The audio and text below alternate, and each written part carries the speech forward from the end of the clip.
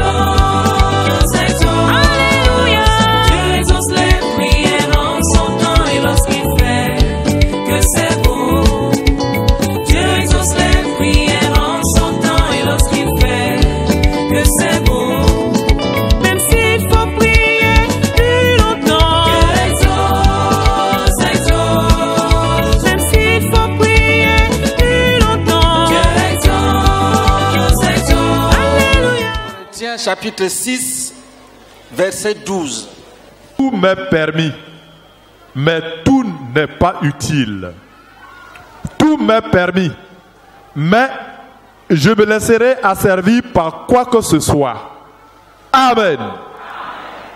Donc, 2 Pierre chapitre 2, verset 19 à 21.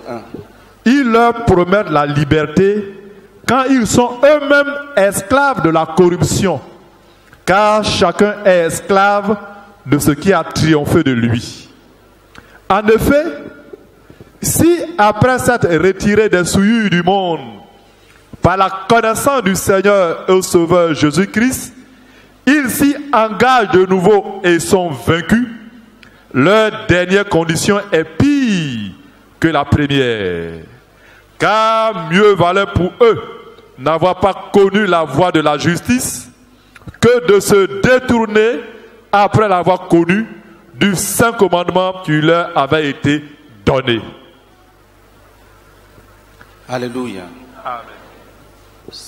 La bataille de ce soir consiste à se libérer de ses propres pièges. Le, le diable exploite les pièges que toi-même tu as posés pour, pour opposer une grande résistance. Les actes que tu poses, tes attitudes, tes apparences, tes choix, tes goûts deviennent des chaînes entre les mains du diable. Et la parole de Dieu dit, quand tu es sauvé, quand tu as déjà donné ta vie à Jésus, ne fais pas tout ce qu'on fait. Ne, te laisse pas entraîner par une liberté arbitraire. Ne te dis pas je suis libre, je fais ce que je peux ou ce que je veux. Parce que chacun est esclave de ce qui a triomphé de lui. Si tu es esclave de la plaisanterie, ton, démon, ton maître suprême, ce n'est même pas le diable, c'est le démon de la plaisanterie. Ce n'est même pas la sorcellerie. Le péché qui domine sur toi est ton vrai maître. Et l'apôtre dit, je ne me laisserai pas asservir par quoi que ce soit. Un enfant de Dieu doit se donner la liberté spirituelle, doit se rassurer qu'il n'y a aucune habitude, aucun comportement qui domine sur son caractère. Est-ce que nous sommes ensemble? Tout est permis. Tu peux danser, tu peux chanter, tu peux manger, fais tout ce que tu fais. Mais si tu en deviens esclave, tu n'es plus un homme spirituel. Parce que l'homme rempli du Saint-Esprit fait ce qu'il veut. Il est libre. Parce que certains s'en vont combattre l'ennemi à des milliers de kilomètres alors que l'ennemi est juste sous leur nez. Ou alors il est couché dans sa, dans sa chambre, il attend. Le diable se dit, va faire, crie là-bas, tu je t'attends ici. Il y a des gens qui peuvent quitter une rencontre comme celle-ci et aller directement se masturber, sans pouvoir se l'expliquer. Chacun est esclave de ce qui a triomphé de lui. Donc tu vas te dégager de ce piège en disant, j'ai telle et telle habitude, je mets fin à cela aujourd'hui. Vous allez voir le nombre de démons qui vont tomber, vous serez surpris. Parce qu'il faut connaître le combat spirituel. Chacun est esclave de ce qui a triomphé de lui. Il y a un frère à Toumoudi, il avait laissé tous les péchés, il restait la cigarette. Et il prenait la dernière cigarette vers 19 heures. Il allait se cacher dans une petite brousse de Toumoudi. Il fume là-bas, il revient. Il était un frère. Il voulait aller au ciel. Il était sincère. Mais la cigarette avait triomphé de lui. Un jour, il a ramené les déchets humains parce qu'il allait à vélo. Il a fait entrer le vélo dans la maison. Son fils lui dit, papa, qu'est-ce que tu sens comme ça? Et le fils a découvert que ce sont les déchets, les excréments humains que le vélo a transportés. Il a lavé le vélo. Dans son cœur, il était peiné parce qu'il savait où ces excréments étaient venus. Une autre fois, il est entré dans la même brousse, les magnans sont montés sur lui, les fous. Il est sorti de là. C'était le jour de sa délivrance. Alléluia. Il a regardé la cigarette. Il a dit, à cause de la cigarette, il a jeté. Il dit, une fois lui a dit, fais un pas en arrière. Il a fait un pas en arrière. Fais un deuxième pas. Il a fait un deuxième pas. La même fois lui dit, que la cigarette vienne te trouver là où tu es. C'était la fin. Alléluia. C'était la fin de la cigarette. Une sœur a rendu témoignage que les bijoux en or étaient le point de contact avec les démons. C'est le Saint-Esprit qui lui a dit d'enlever. Elle a enlevé et c'était sa délivrance. Est-ce que nous sommes ensemble? Si c'est ton cas, fais la même chose. Il y a des femmes, chaque marchandise, elle prend à crédit, elle prend, elle met dans le sac et dit je te paye à la fin du mois. Chaque bijou qui veut passer dit hey, montre-moi ça. Les bijoux à crédit des centaines de millions. Tu es délivré ce soir.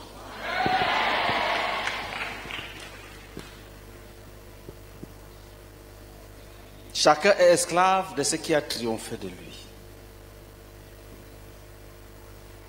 Si c'est l'orgueil, tu peux sauter, tu descends, tu sautes, tu descends, le, démon d'orgueil t'attend. Si tu fais trop de bruit, il va se coucher sur ton lit et t'attend là-bas. Quand tu reviens, il te pose la question, tu dis quoi? Toi aussi.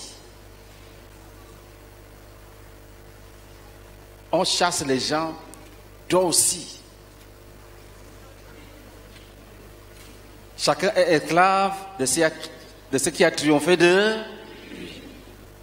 Si nous voulons une victoire totale, il faut que ce soir soit. Euh, Lis-nous, lis-nous 1 Corinthiens chapitre 6, verset 12. Il dit, je, je ne me laisserai pas asservir par quoi que ce soit. Ne dis pas que c'est comme ça que je suis. euh, Les gens doivent m'accepter tel que je suis. Attention, c'est un piège. Parce que le démon qui représente, le démon qui est derrière ce péché sera ton homme fort. Si c'est le vol, tu es sous la domination de la principauté du vol ou du prince satanique du vol. Tu n'es pas libre. Tu lui payes les impôts. Quand tu fais les bruits avec les esprits de mort, les esprits de... Il dit, mais vous perdez votre temps, je vais vous le livrer. C'est mon esclave. Est-ce que nous sommes ensemble? Lis. 1 Corinthiens 6, verset 12. Tout m'est permis, mais tout n'est pas utile. Tout m'est permis, mais je me laisserai asservir par quoi que ce soit. Amen. Il y avait une sœur, quand elle voit la nourriture, elle dit la petite sauce, petite sauce. Même la manière de prononcer le mot sauce là, tu vois, sa bouche devient petite sauce. Si elle est dans le jeûne, vous êtes à elle vient ouvrir, c'est quoi? Et je peux rompre. hein. Son cœur ne supportait pas le jeûne quand il y a une petite sauce à côté. Son maître, c'est la petite sauce. Elle vient ouvrir, c'est-à-dire elle se, livre à la tentation, elle vient ouvrir. Ça, c'est- Quand l'odeur monte, elle dit ça, je peux rompre. hein. Alléluia.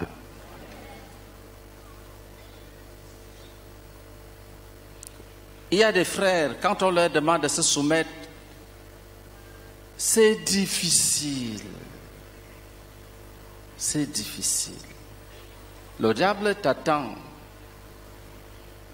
à ce tournant-là.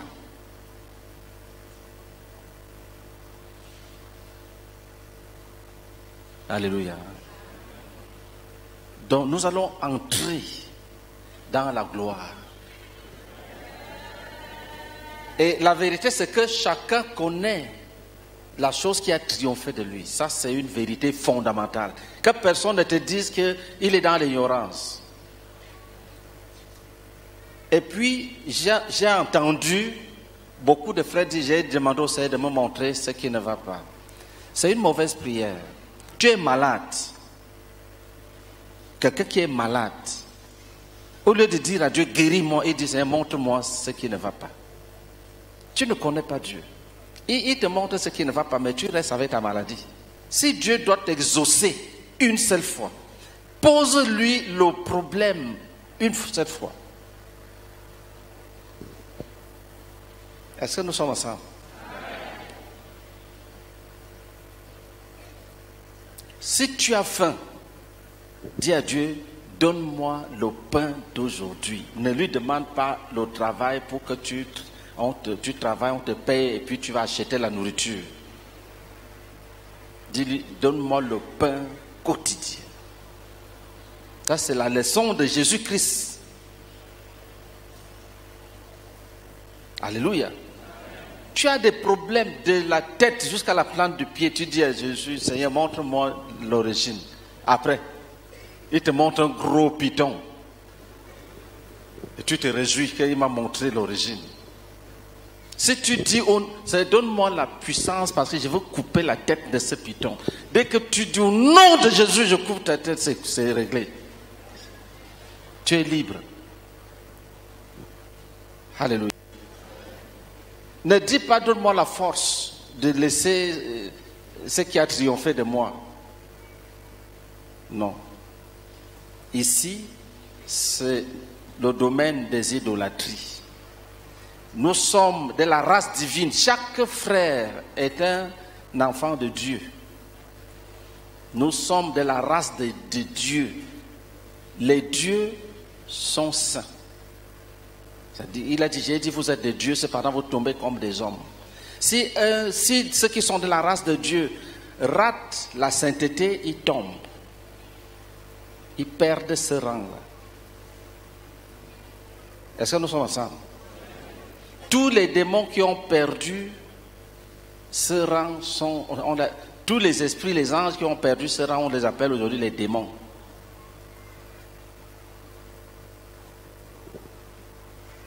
Je ne me laisserai pas asservir par quoi que ce soit. Quand nous allons nous lever, il y a des gens qui disent, je n'arrive pas à pardonner, je n'arrive pas. Attention, tu es en train de dire que ton maître, c'est le manque de pardon, qu'il a triomphé de toi.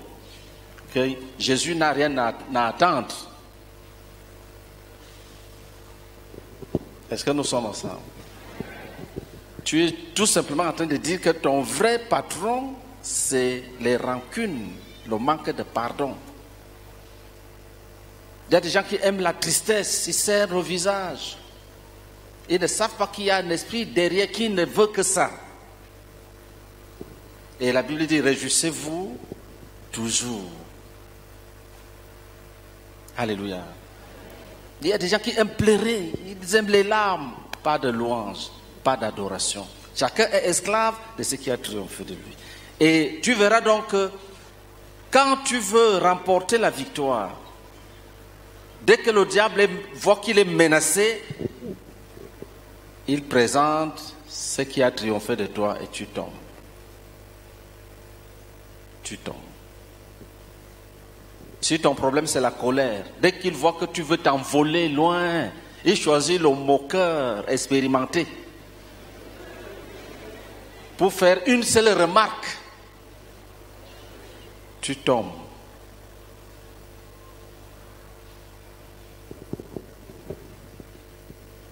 Est-ce que nous sommes ensemble?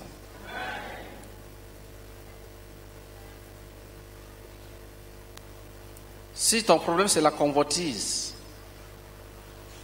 la convoitise des yeux,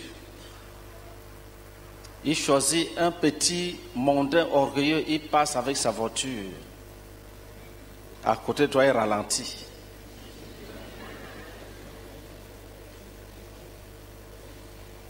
Il ajuste ses lunettes. Tu oublies tous les versets bibliques.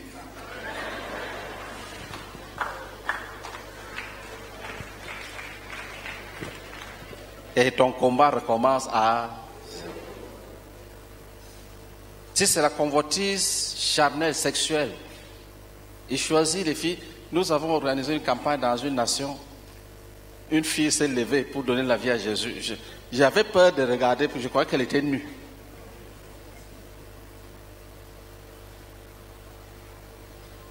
Je n'ai jamais vu, même on parle de culottes là, ça même, je n'ai même pas cherché à voir de quoi il s'agissait.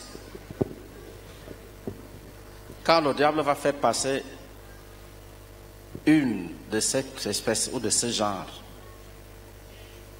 tu oublies le premier livre de la Bible.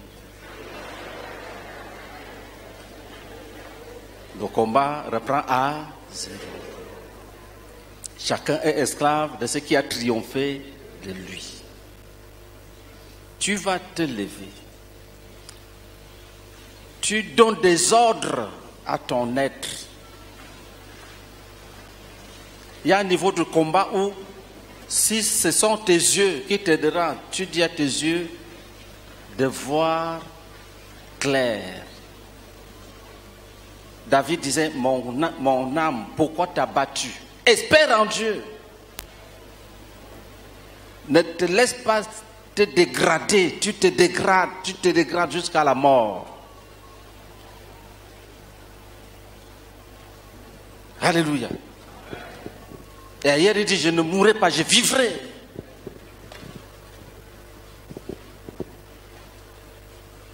Tu verras la victoire que tu vas enregistrer ce soir est supérieure à tout ce que tu as déjà entendu parler. Acclamons pour Jésus-Christ.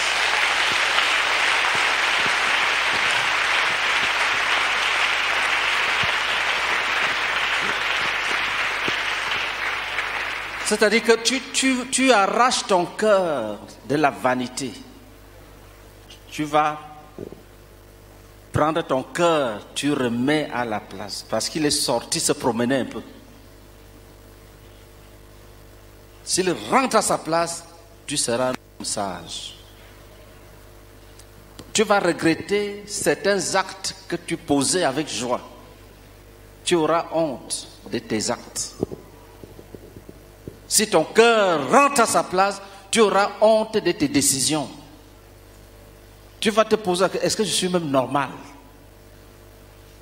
Et tu vas commencer les réparations. Chacun est esclave de ce qui a triomphé de lui. Que personne ne te trompe. Il ne faut pas contempler le côté où tu as réussi. Ça va te séduire. Regarde là où tu as perdu le contrôle. Chacun est esclave de ce qui a triomphé de lui. Quand le diable convoque son armée, il dit, qu'est-ce que vous avez de réserve contre tel? On dit rien. Il commence à pleurer. Jésus disait, le prince de ce monde vient, il n'a rien en moi.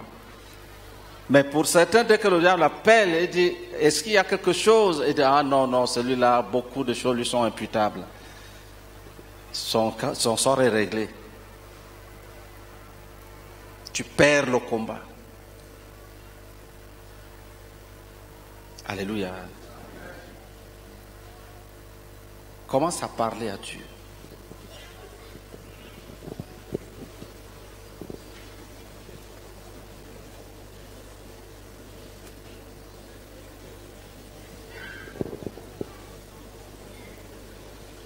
Et toutes les résistances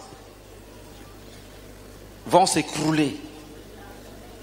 Parce qu'il faut un petit terrain à Satan pour résister.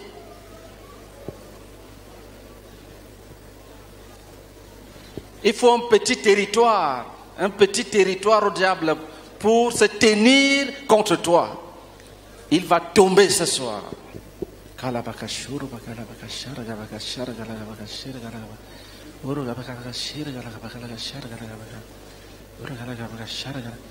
Pendant que tu pries, tu répètes, je ne me laisserai pas asservir par quoi que ce soit.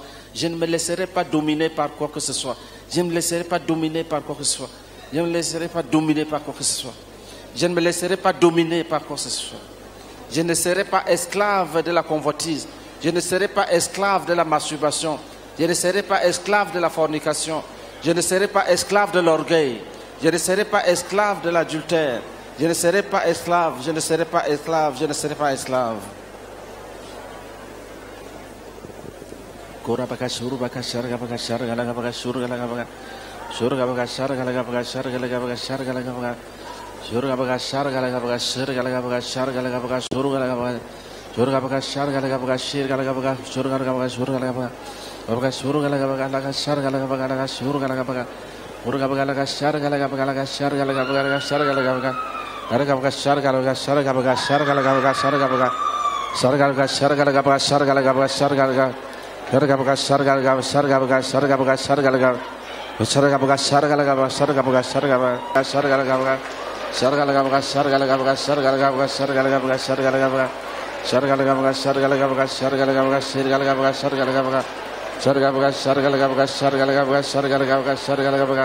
Surga lega begas, surga lega begas, surga lega begas, surga lega begas, surga lega begas. Dis, Saint-Esprit, remplis-moi de ta puissance. Remplis-moi de ta puissance. Continue à prier.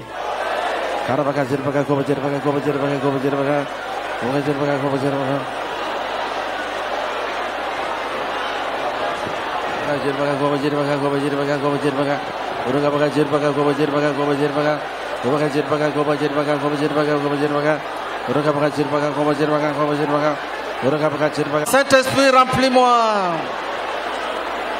Saint-Esprit, accorde-moi ta plénitude. Accorde-moi ta plénitude. Maintenant, tu vas prier de nouvelles langues. Ceux qui parlent déjà en langue, demandez de nouvelles langues et même l'interprétation. Prions ensemble.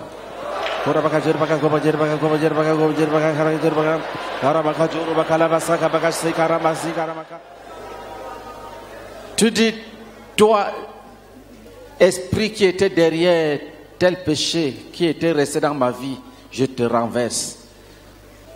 Quand on va commencer à prier, si c'est l'adultère, tu dis, toi, esprit d'adultère, je te renverse. Si c'est le mensonge, tu dis, toi, esprit de mensonge, je te renverse. Alléluia.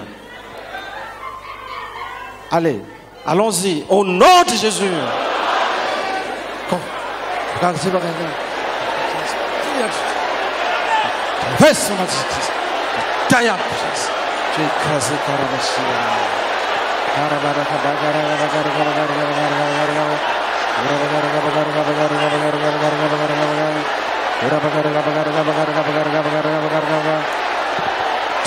Up, yes.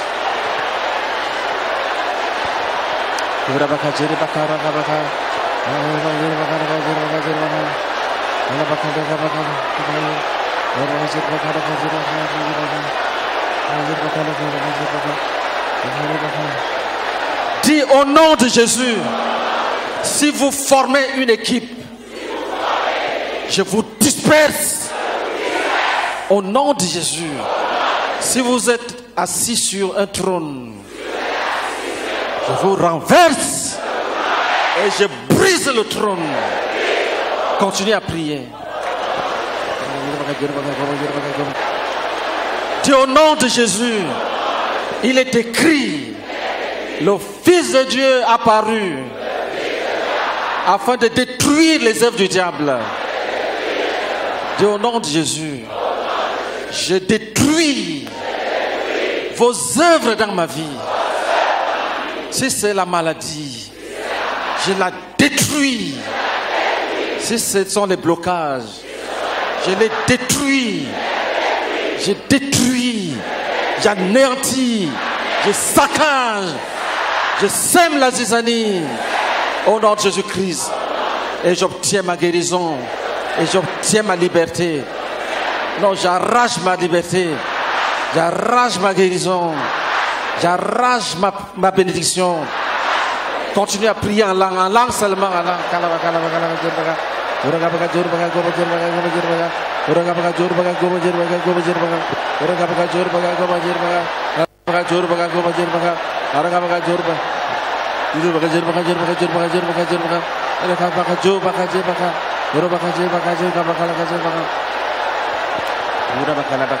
Urabaka Siri Bakala Navaka, Urabaka Labakala Kabakala Kabakala Kabakala Kabaka, Abakala Kabakala Kabakala Kajiri Baka, Urabaka Jir Bakara Kajir Baka, Urabaka Jir Baka Goba Kajir Baka Goba Jir Baka, Uraka Baka Jur Baka, Uraka Baka Jur Baka Ragajir Baka, Uraka Baka Jir Baka, Urabaka Laka Sabaka Shikaba, Abakala Kabakala Kabakala Kabakala Kabakala Urabaka Unod Jesus Christ, Kelemalad Geris.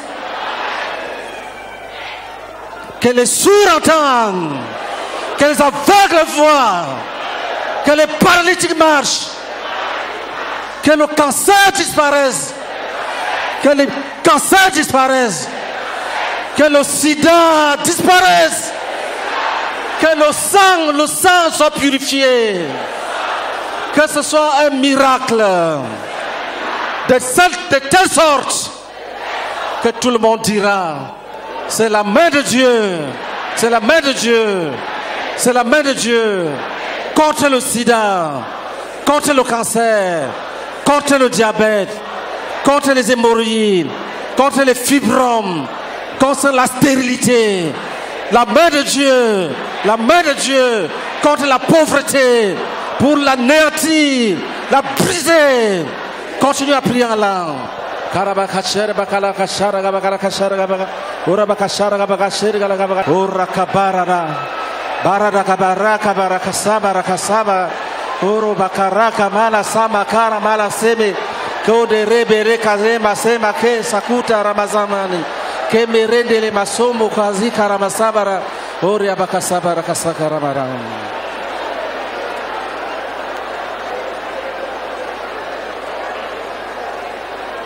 ramaram. Assieds-toi, tu gardes le calme.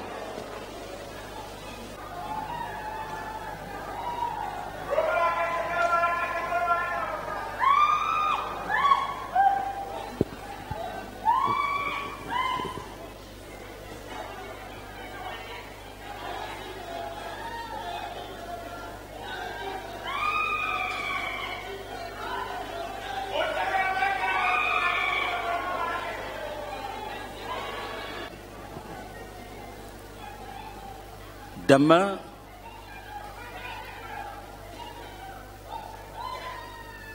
nous allons détruire tout ce qui est humain. Le Seigneur veut qu'on insiste. Beaucoup de souffrances viennent de l'œuvre de la sorcellerie et la magie. C'est ça qu'on appelle les œuvres des hommes. Les voisins, les conjoints, les parents, les adversaires. Peut-être tu as un litige terrien avec quelqu'un. Sa solution, ce n'est pas d'aller à la justice, c'est d'aller seulement te tuer pour rester seul.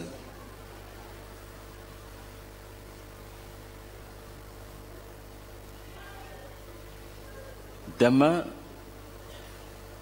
tout ce qui vient de l'homme sera détruit. Donc, pendant la journée,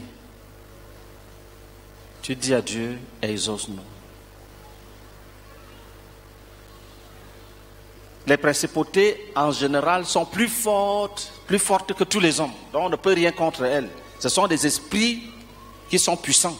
C'est Dieu seul qui les anéantit. Alléluia. Donc, quand tu dis exauce-nous, Dieu, Dieu comprend ce que tu dis.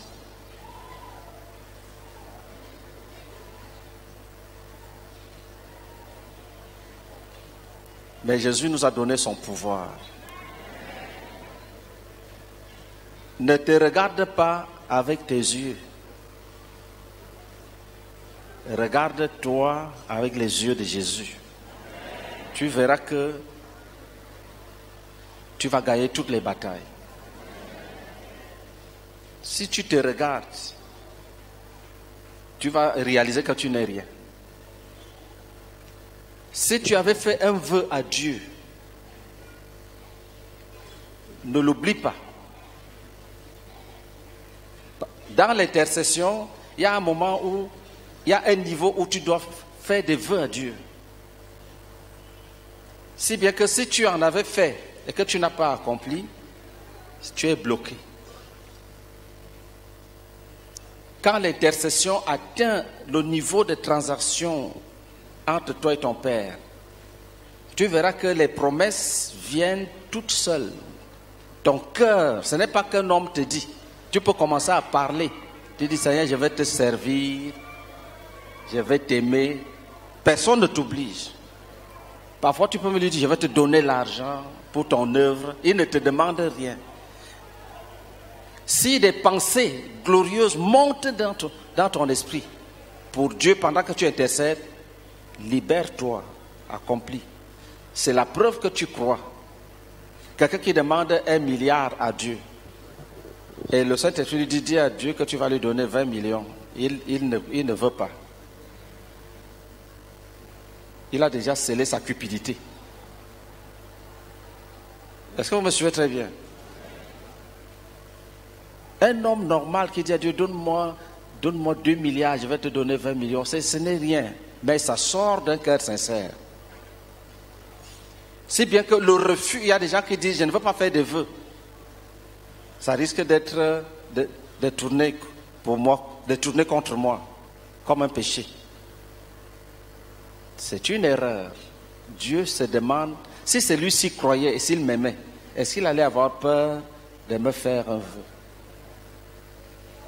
Les réserves traduisent le manque de consécration. Dieu peut dire à, un jeune homme peut dire à Dieu, si tu me donnes le doctorat, j'irai en mission en Chine. C'est merveilleux. Le diable peut te dire, hmm, ça c'est beaucoup. Donc tu veux, tu demandes beaucoup de choses, mais tu veux donner juste les résidus à Dieu. C'est un blocage. Alléluia. On a très peu de jours pour intercéder. Donc il ne faut pas perdre le temps dans les, résistances. Il faut libérer son cœur.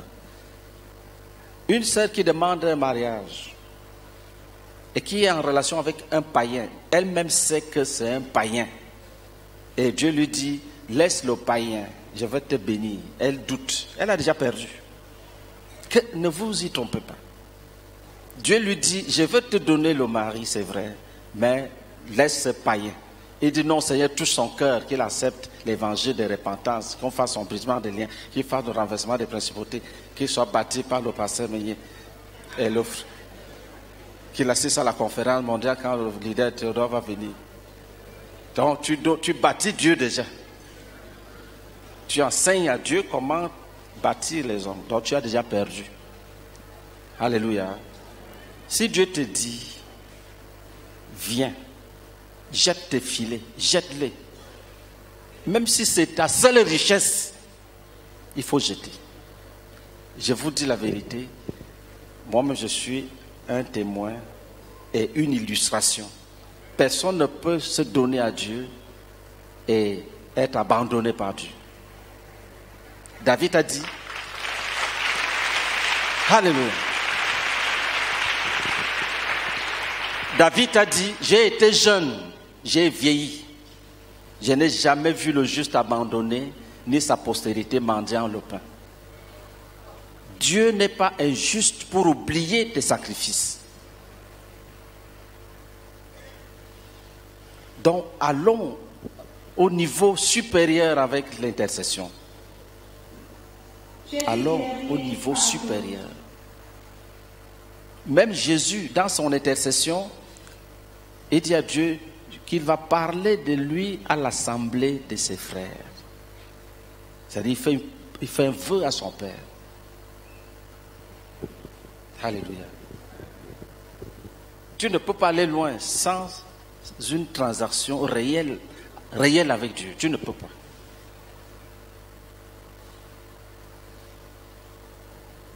Que le Seigneur vous bénisse. Que personne ne touche à ton héritage. Que ta foi soit cachée dans le sang de Christ. Amen. Gloire à Dieu. Amen. Bien-aimé, notre Dieu aime les perdus. Jésus aime les pauvres pécheurs. Jésus délivre ceux qui sont enchaînés dans les liens de la mort. Jésus sauve les âmes. Je suis le pasteur Mvolet. Je suis le dirigeant de l'assemblée à Abata. Et mon faiseur de disciples, c'est le pasteur Vincent Zaba. Nous adorons donc dans la zone de Bengerville, avec l'ancien des Gonzagues comme ancien de la zone. Je veux rendre grâce au Seigneur Jésus-Christ. Parce que ce Dieu-là, si tu ne l'as pas expérimenté, si tu ne l'as pas vu, si tu ne l'as pas touché, tu ne sauras jamais qu'il aime les pauvres pécheurs comme nous. Bien aimé, le Seigneur m'aimait et moi je ne le savais pas. Jésus-Christ m'avait choisi depuis le sein de ma mère, mais je ne le savais pas. Et je vautrais dans la boue du péché. Jusqu'en 2016, de l'année dernière, le Seigneur Jésus-Christ m'a permis de rencontrer l'évangile de la vraie repentance à la CMCI. Et quand j'ai accepté le Seigneur Jésus-Christ, quand je me suis repenti véritablement, le Seigneur a opéré le miracle dans ma vie. Peut-être que tu m'as vu dans les rues d'Abidjan et tu m'as jamais reconnu. J'étais squelettique. Je n'avais plus de chair sur les os. Je ne ressemblais à rien. Avec ça, je pensais que j'étais pasteur. Je pensais que j'aimais Dieu. Je pensais que je faisais ce qui était bien et que c'était les autres qui étaient mauvais. Alléluia. Quand par le canal de la sœur Marie de Bengerville, l'évangile a frappé à ma porte, je n'ai pas résisté. J'ai donné mon cœur à Jésus.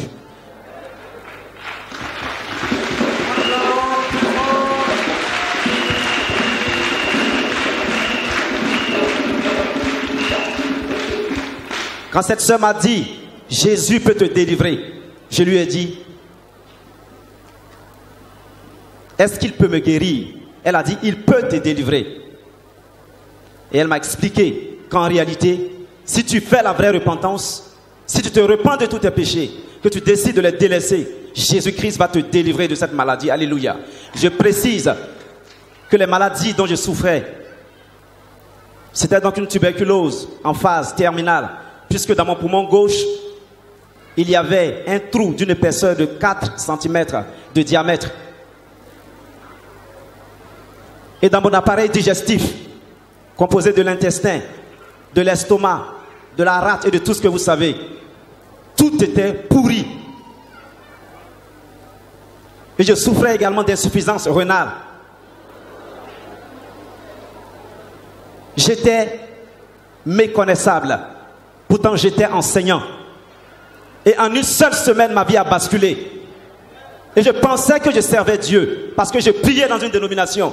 J'étais même pasteur. On a même collé mes affiches. Il a fallu que je rencontre la CMCI par le canal de la vaillante évangéliste Marie Kwame.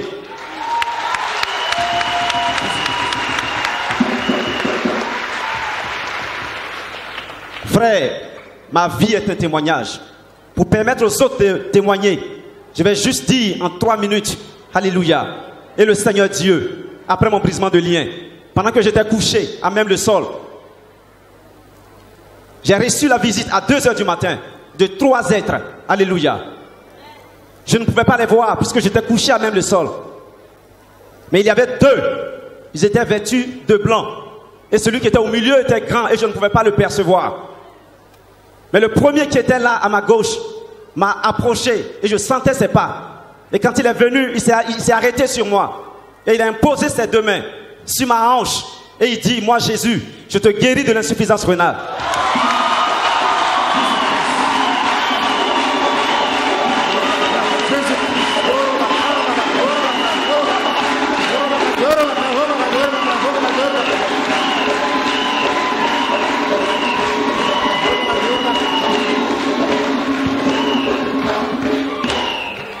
Le deuxième s'est approché. J'ai aussi entendu ses pas. Il est venu et cette fois-ci, il a posé ses deux mains sur ma poitrine, sur mon poumon gauche et il dit, je te guéris, moi Jésus, de l'infection pulmonaire. Et il s'est retiré.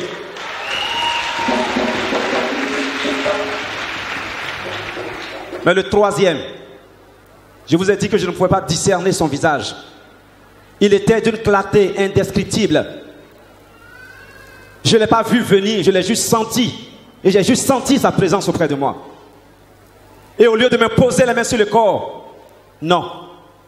Il a juste plongé ses mains dans la poussière du sol. Je vous ai dit que je dormais à même le sol.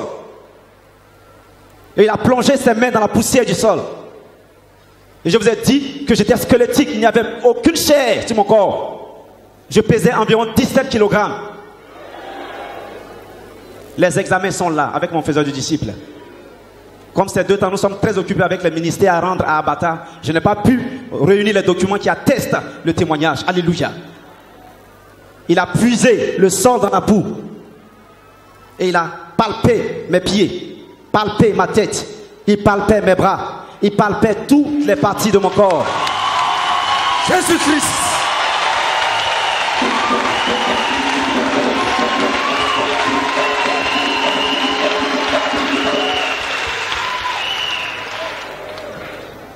Il ne parlait pas, mais je pouvais entendre la douce voix qui sortait de son être, disant, Souviens-toi, mon fils, des ossements desséchés. Alléluia.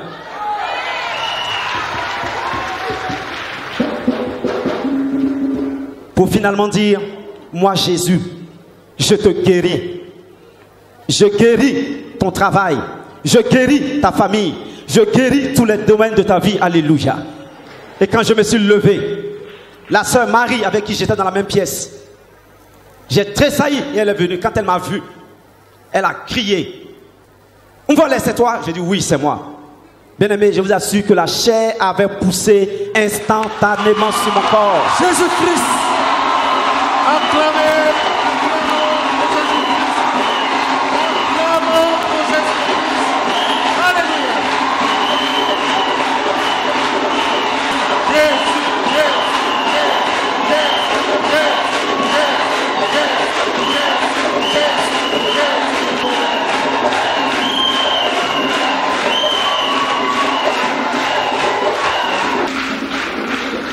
À Jésus. Gloire à Dieu. Je me nomme la sœur Nyenezi Yvette. Je suis de l'assemblée de Tazibo 1, d'Aloa. Mon faiseur de disciples, c'est le missionnaire Achille Gogwa. Frère, je veux rendre grâce à Dieu, je vais lui dire merci pour la guérison qu'il m'a accordée. En effet, il faut dire qu'après le verdict à Dalois, quelques jours après, j'ai commencé à uriner et de façon répétée, c'est-à-dire chaque 15 minutes. Et quand je vais uriner, c'est comme si on a ouvert un tuyau, à telle enseigne que je me suis approché de mon faiseur. Pendant que nous nous entretenons, je suis allé trois fois, j'ai demandé la permission trois fois. J'ai dit c'est comme ça, ça se passe. Pendant la nuit, je ne dormais presque pas. À 1h, je pisse. À 1h30, je pisse. Jusqu'au petit matin, à telle enseigne que j'ai commencé à dépérir. Et le missionnaire a dit, nous allons partir à l'hôpital. La sœur Gogo a dit, non, c'est l'oppression. J'ai dit, non, ça là, ça a dépassé l'oppression. Parce que là, là, je ne comprends plus rien. Et le missionnaire a tenu à ce que j'aille à l'hôpital. J'arrive à l'hôpital, l'infirmier qui me reçoit me dit que c'est la prostate. J'ai dit, pros quoi? Il dit prostate. J'ai dit, moi, femme, j'ai prostate. Il dit, non, c'est, ça se manifeste chez les hommes, ça se manifeste chez les femmes. On, on dit quoi maintenant? J'ai fait comment? Et pendant même qu'il il faisait l'ordonnance, il m'a dit, non, il faut faire les examens. Et ils ont fait l'examen. On dit, non, c'est un problème au niveau de la vessie et tout ça. Il a donné l'ordonnance. Et le missionnaire s'en a chargé. J'ai commencé à prendre les médicaments. Mais malgré ça, c'est maintenant même que ça a doublé. Il dit non, il faut prendre les médicaments. Il a prié. Ça continue. Et je devais me rendre à Abidjan. Quand je suis arrivé à Abidjan, de façon légère, ça a diminué. Mais deux jours après, ça a repris avec force. En telle enseigne que je ne dormais plus. Et j'ai partagé ça avec la sœur Aboka, Vittori. Et c'est ainsi qu'elle m'a demandé de voir le missionnaire DI qui m'a reçu. Pendant que j'étais en train de m'entretenir avec le missionnaire, en moins de cinq minutes, j'ai demandé, je vais aller au petit coin. C'est pour, dire à, c'est pour vous dire à quel point ça me fatiguait. Et après l'entretien, il m'a conduit à la repentance et on a fait un brisement des liens. Après le brisement des liens, j'ai dormi comme un bébé. Acclamez pour Jésus-Christ. Acclamons pour Jésus-Christ.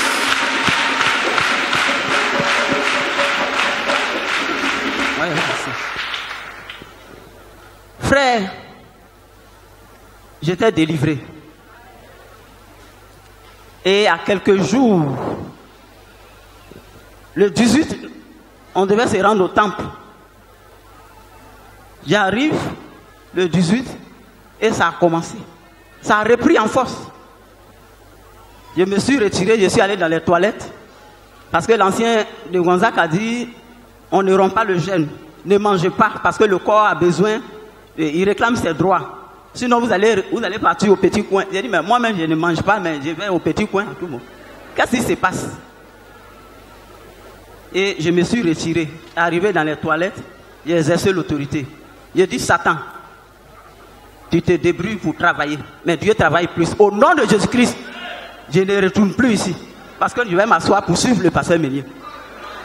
Et quand nous avons fini de prier, pendant qu'on priait, le pasteur a demandé si tu sens un mal, si c'est dans la poitrine ou moi, j'ai posé ma main juste là, au niveau de mon bas-ventre.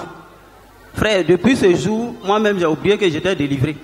Je me réveille à 8 heures. Quand je me réveille, puis je vais au toit. Je lui suis infiniment reconnaissant pour la guérison qu'il m'a accordée. Amen. Gloire à Dieu. Je suis la sœur Colette Lombé. Mon faiseur de disciples, c'est maman Colette Meignet. Je viens de la zone de Yopougon. Je veux dire infiniment merci au Seigneur qui m'a délivré d'un mal de ventre que je traînais depuis j'étais toute petite. Il faut dire que, étant toute petite déjà, quand ce mal de ventre vient comme ça, je suis à terre, je rampe comme un serpent. Je pleure à chaudes larmes parce que j'ai très mal au ventre.